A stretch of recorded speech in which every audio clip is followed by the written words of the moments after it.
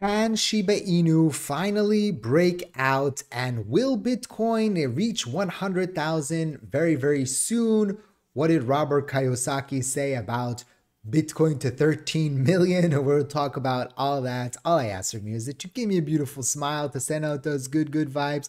Smishity smash that like button. Hopefully today, if you missed yesterday, I got mixed up with the Shiba Inu and XRP videos. So today I'm not gonna get mixed up. Don't worry about it. This is a Shiba Inu Shiba Inu video, right? um, so beautiful smile, smishity smash that like button, and let's do the Shiba shake.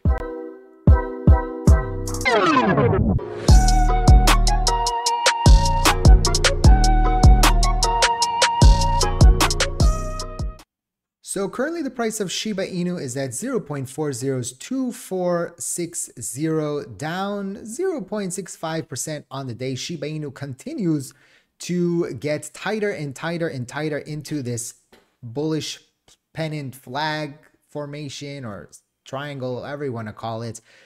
It's getting tighter and tighter. Shiba Inu has this tendency to do stuff like this. You can see I have the same uh, formation drawn here at a, at a smaller scale back a few months ago.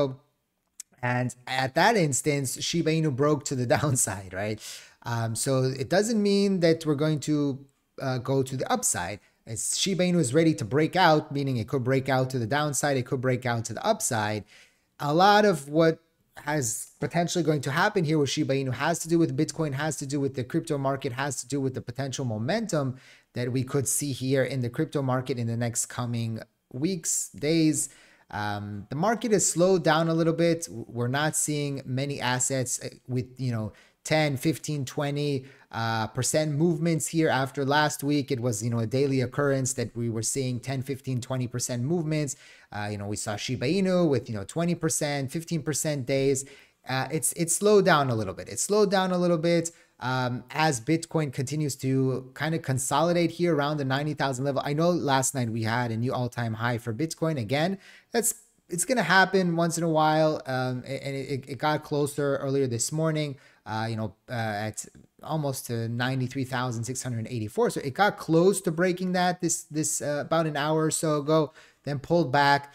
Um, as you can see, you know, Shiba Inu dropped off with Bitcoin, but it hasn't seen the same umph uh, back, it's because of the Bitcoin dominance and how much, you know, funds are going towards Bitcoin and not so much going towards altcoins. And when this flips, then altcoins are going to start moving big time. But again, we've talked about this before. When you have assets that are potential for those 20, 25, you're not seeing Bitcoin move 25% in a day, right? Um, so when Bitcoin down goes down 2%, 2.5%, then Shiba Inu, Doge, and you know others, eh, high probability that they drop back, you know, 10%. So I know a lot of people in the comment section and you know in their feelings, but this is this is how it is. This is if you want an asset that has the potential to go up 20, 25%, you're going to also have to deal with the potential of it going down 20 to 25%. Uh, and so that's what we're currently, uh, again, we're not seeing that right now from Shiba Inu coin, but potentially Shiba Inu could have those movements and you need to be ready for that mentally for that to happen. We've seen a lot of, uh, you know, liquidations here on the long and on the short um, uh, in the last 24 hours. And you can see here, like Doge has uh, had a big, um, Doge, Pepe had some big uh, long um, shorts that, sorry, longs that got uh, liquidated here. So you have to be very careful if you're using leverage because the market is still very, very spiky and very, very unpredictable.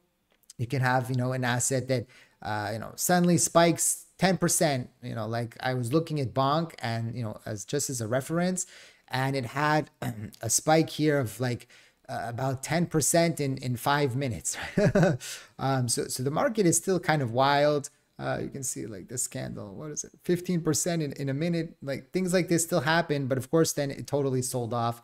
Um, so, so things are still are still volatile. Uh, things are still, um, you know, uncertain in this market.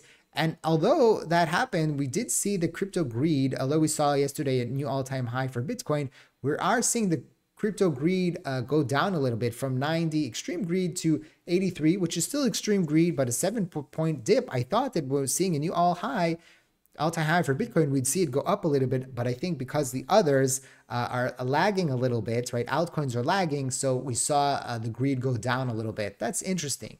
Uh, you know how how do they do it? There's volatility, market momentum, volume, social media, and uh, and dominance uh, and trends. Um, so interesting, right? So maybe it's from social media negative uh, sentiment, or maybe it's just because of the volatility. Uh, we saw that happen there. So uh, we'll see, we'll see. And listen, the the, the Bitcoin ETF uh, options were great.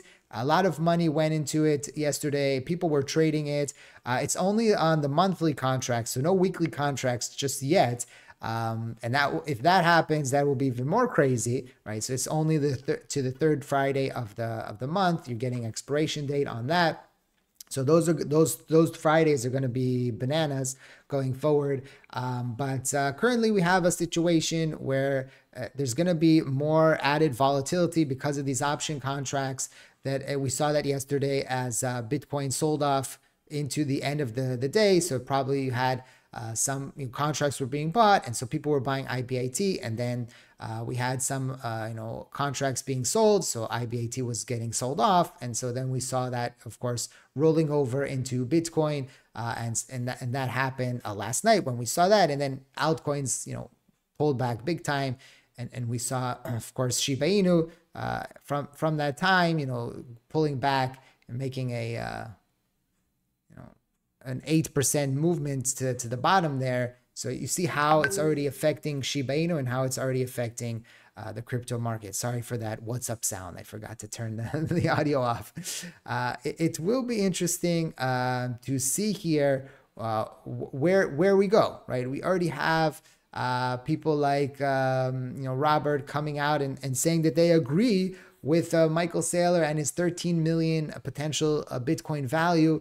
He says, I believe he is right. He is one smart boy. Bitcoin is 90,000 today. If Saylor is on target, which I think he is, this means nine for $9,000 today, you buy 0.1 Bitcoin today, you're a millionaire tomorrow. Sure beats going 50,000 in debt for a student loan, studying for years just to earn a flimsy MBA. Get smarter, buy Bitcoin today. He is, right? Uh, of course, not financial advice.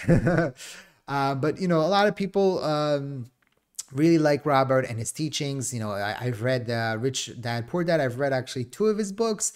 Um, a lot of my philosophies come from him. I don't agree with him on every single thing that he says, but um, you know, he is very into Bitcoin. He is very pro Bitcoin, very pro crypto, and we're seeing you know more and more people come around uh, with this. And we see more and more people coming around into the crypto market. And as the crypto market gets even more hot and more uh, uh, you know uh, furious we're going to see more and more retail coming back into the crypto market. So it's going to be very interesting to see uh, you know what happens and of course we have this you know microstrategy closed the day as a market cap of 87.3 billion meanwhile the market cap of the second largest gold miners newmont and barrick closed the day at 49.2 billion and 31 billion respectively combined. The two largest gold miners have market cap of 80 billion. This means MicroStrategy now has a market cap of 7 billion larger than the two largest gold miners combined.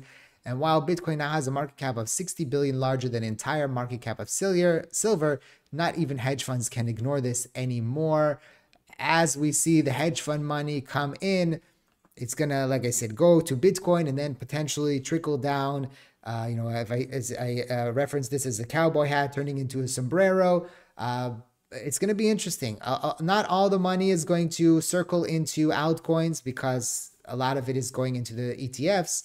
Uh, but still, you know, the, the the money at the top will potentially be a lot larger, and then the money that's not in the ETFs will be valued at a higher level potentially, and then that could trick mean more money trickling down into the altcoin ecosystem. So it's going to be very interesting to see uh, where the market goes from here and where potentially Shiba Inu is. Can Shiba Inu break out? It it will break out of this triangle. The question is going to be uh, in what direction. Does it break out to the upside or the downside? Uh, you know, in the one hour, it's very confusing. We got a lot of crossovers on the 1348 EMA. Uh, the, the RSI, stochastic RSI isn't giving us much. Even here, you know, we're getting close in the four hour to the bottom of the stochastic RSI. It's not giving us much of a potential direction. On the daily, we went from the top of the stochastic RSI. We're, we're getting closer and closer to the bottom. So I don't have a clear cut answer here. I don't, I don't see, uh, you know, a clear cut answer if we're going to break to the upside or the downside. Again, a lot has to do with the momentum. If Bitcoin starts rallying to 100,000. So I, I think that Shiba Inu will pump with it. Uh, but if it doesn't, and if it starts pulling back, and if we have, you know, WW3 potentially, uh, you know, with Russia Ukraine situation, then we might we might not see that uh, any you know anytime soon. But we'll see. I'm not a prophet. I don't know what's gonna happen. Of course, not financial advice. Always do your own due diligence before you decide to invest. Don't forget to smash the like button. Check out the links in the description down below. Thank you for watching. I hope to see you next time. And like I always say, let's make a lot of money.